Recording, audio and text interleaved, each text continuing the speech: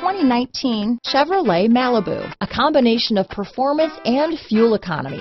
The Malibu is a great commuting car. This vehicle has less than 100 miles. Here are some of this vehicle's great options.